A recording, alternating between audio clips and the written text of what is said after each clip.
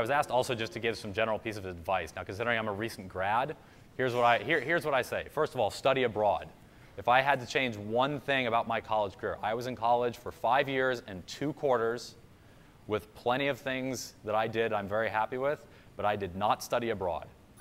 Even as an engineer, you can find a way to do it, and it's incredibly valuable experience if for not necessarily for the foreign language reason, but for the cultural reason, and if nothing else, just to do something you will never have the opportunity to do again.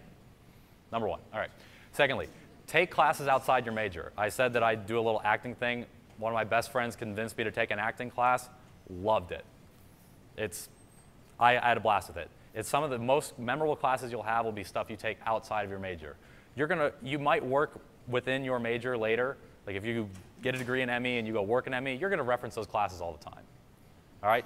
Go take something that's fun. Go take art history. Go take, you know, sculpting. I don't know. Something that could potentially interest you that's outside your normal comfort zone because you're not going to get a chance later. Use your summers wisely. That can be an internship, which, by the way, I can't speak for Boeing, but I know that from me personally, I view it as a three month long job interview. If you do a good job, we are much more apt to hire you because we know what we're getting than potentially chancing on a new recruit. So use it wisely. Even if you don't get an internship, you know, travel a little bit, go do something, volunteer somewhere, do something. Just don't go home, sit, and do nothing. You know, don't follow summer baseball all, all along unless you plan on going and working in baseball. Do something with your summer. Learn the metric system, please. It's far superior than the English system. I wish we would retire it. That's all we do. It's, it's I mean, I, oh, it's awful. Um, don't over specialize. And what I mean by that is like you're always, you're always going to pursue a major and you're going to delve into some concentration and that's great.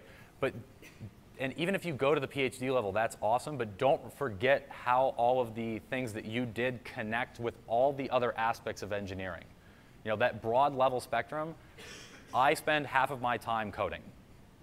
Coding, not coating. I literally spend half of my day coding because my test setups are governed by computer code. So I use both of my degrees every single day.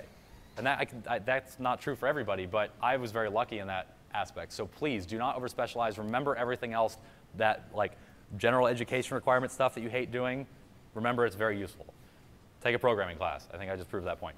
Um, establish relationships with professors. They're great for knowing what the industry that you want to go into is like. They're great for answering questions. They will help you with projects. They're eager.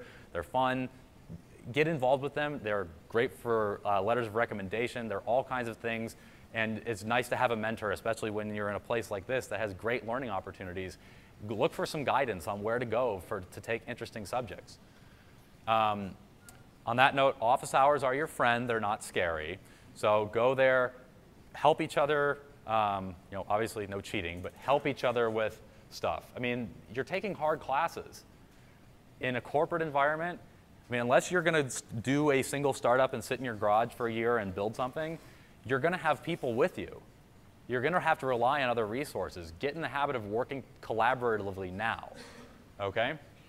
Then, um, side note, totally unrelated to academics, learn real world financing. And I mean, that, it sounds silly, but I mean, learn what a mortgage is, learn how the stock market works, learn what the bonds are, know what it is to invest in a 401k, talk about a Roth IRA, use some money wisely. Yeah, you're gonna go get a job and earn a bunch of paychecks. Don't go blow it on a car right away, okay? Like, I love cars just as much as the next person, but you will, uh, Einstein said the greatest power in the universe is compound interest. I'm not kidding you, he actually did say this, so it, and it's true. Just Type in 401k calculator and look at the math. It's unbelievable what it can result in for you later in life. Put some money aside, start saving now, learn the benefits of real world financing before you actually have to start you know, paying significant amount of rent and you have dependents and all of that. Um, and last but not least, again, take advantage of opportunities that you will never have again. Enjoy every minute you can here. It's, you're at a great university, at a great time in your life, and you know, a lot of interesting things going all around you. Soak in every moment of it. Um, I loved my undergraduate education and would love to go back for a lot of reasons, would love to not go back for a lot of reasons, but um, yeah, I, there are a lot of things that you will never get a chance to do again. Try to figure out what they are and do them while you're here.